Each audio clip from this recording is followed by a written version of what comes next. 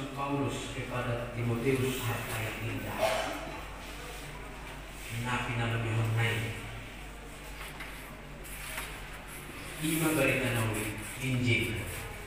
Injil itulah harta yang indah itu yang disampaikan, ditekankan dan diberitakan oleh Paulus kepada Timotius supaya dipelihara.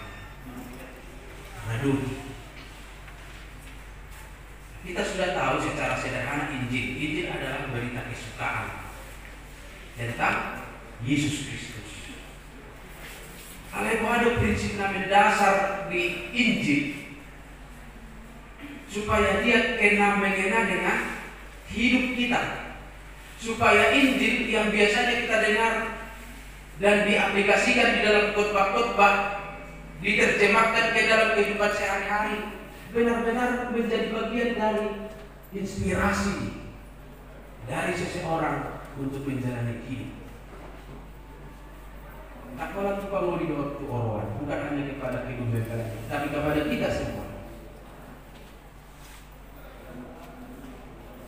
Ay bono nung ngarinas marminggu ngay si Bet, bono sa ni. Iya, didengarkan terus. Alay bono na rigas marminggu, narigas marminggu be, bono lang kena mengena, barita na uli di bagasan, rohana. Bisa seperti itu. Apalagi mamono kan dibiti.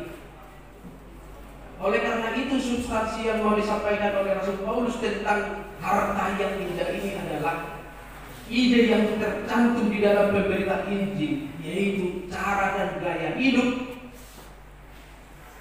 yang dihidupi oleh Yesus Kristus itu. Saya jujur dulu di pamanginan hidup kekristenan itu seperti menjalani dunia terbalik. Di luar akal. Jauh dari apa yang menjadi ekspektasi kita. Bertentangan dengan keinginan kita. Hedang dan dunia terbalik amanginan boleh dokon Mau dipastah huruf musia mulia manusia? Bugisi mahita itu dua Alam mula semua ini Tapi dari kita Apa akan jadi Boleh tinggi itu jari-jari dan proposi Wala nah saya merek itu Bukankah dunia terbalik mengasihi dan menjualkan musuh? Oh sangat, sangat terbalik dari ekspektasi dan keinginan kita sebagai manusia. Aina subuh musuhin dan pertanyaan konen korripas. Bolo ukuran lahiriah kita. Tetapi itu yang disebutkan oleh Rasul Paulus tentang yang indah, Injil. Cara dan gaya hidup. Lalu bagaimana sekarang?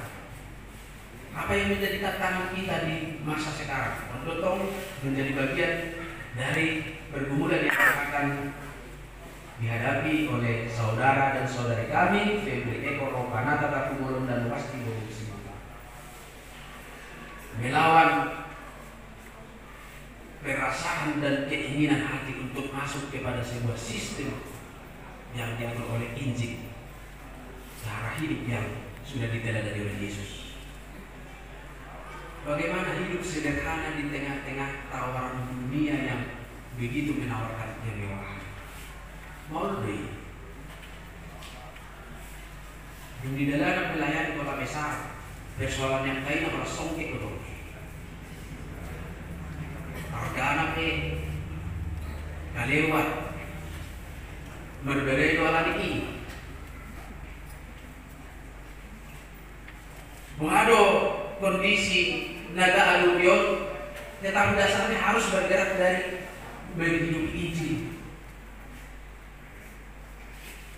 menjadi sangat penting. Bagaimana melawan keinginan-keinginan untuk tidak jatuh kepada hal-hal yang dunia tawarkan yang membuat kita bisa lupa kepada panggilan kita menjadi istri, menjadi suami. Alaikos doroha Mulai dapat apostol Paulus menangkupuk kau dalam kadingkat kamu kau semua ini. Tuhan yang memulai ini. Bahkan Tuhan yang memulai untuk menumbuhkan rasa cinta kasih.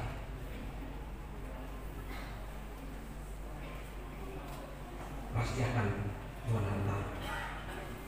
Tetapi dasarnya adalah Injil akan Bapak. Peliharalah itu Injil itu. Karena apa?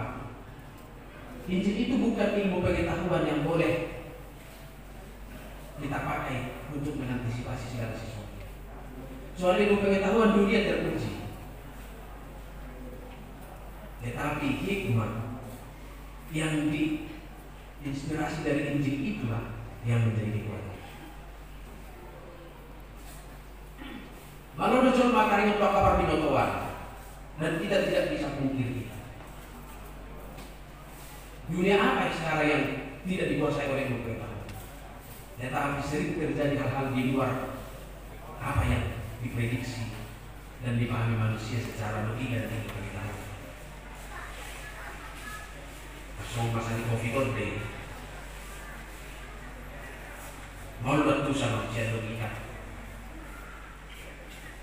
maka dibutuhkan itu tadi harta yang indah itu yaitu Injil yang membuat orang berhikmat memahami segala sesuatu dalam hidupnya. Jadi marbisuk makaka na inahulungan di dibaka.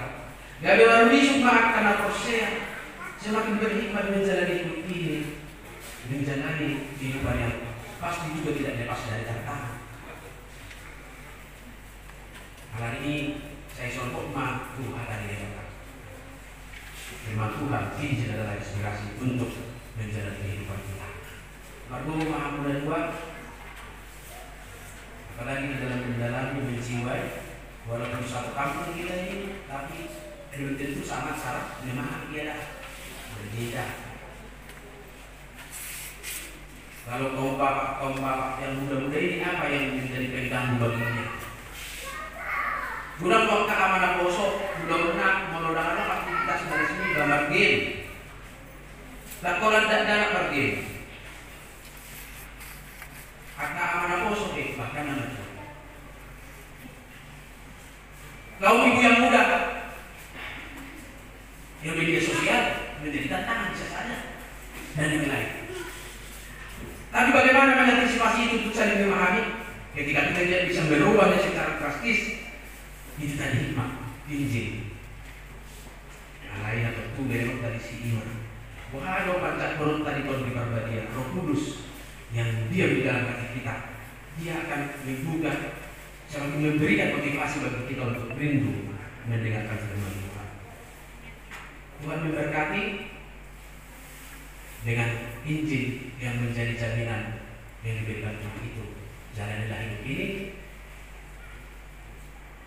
Tuhan akan mengantarkan dengan sukacita dan menyertai di dalam damai sejahtera. So di mana punya subuton, nah, udah ada anak dapat lupa juga bisa panggul itu Tuhan. Itu taruh memang yang pasti orang saya rendah orang. Mana orang nasib kok. Alai bolo di bangku di mana kita iso setiap orang punya kelemahan. Akan saling menutupi. Dari hikmat SB kita Al-Quran nung sambawa hafal hafal di baradadon nakaparhara oh lu lupa. Orang gak bisa ada. Masih pas bulan pak. Ayo gue di berita nawi buat dari firman Tuhan itu Injil itu adalah ketika kita mampu merespon dan itu tidak hanya sebatas kemampuan kita menganalisa, memikirkan dan memahami. Tetapi dengan tujuan Roh Kudus, setiap orang akan Tuhan pakai untuk membantu hingga penghujung nanti acara adat berjalan dengan baik. Kalau bulan baru dulu langsung nabi dan apalah di gudang di sipak namun dan alani apalah panggil di gonting dan pola di gudang di badan dayo. Alaya juga di gaje. Got di perbadia. Kali di maka kita sadukna las marwata. Banyak kita. Kita yang lain. Apa satu di batas sakatnya anak kota berurut helat kalau kalau mereka asa di bagasan dami na sita rohat diuruban nila sa piroha inorban niya tolong na dati magbubuka keluarga takbulon keluarga besar takbulon pandiri keluarga besar sibulon minanggo si tua di pas-pas urat nama kita sa amin. Makangin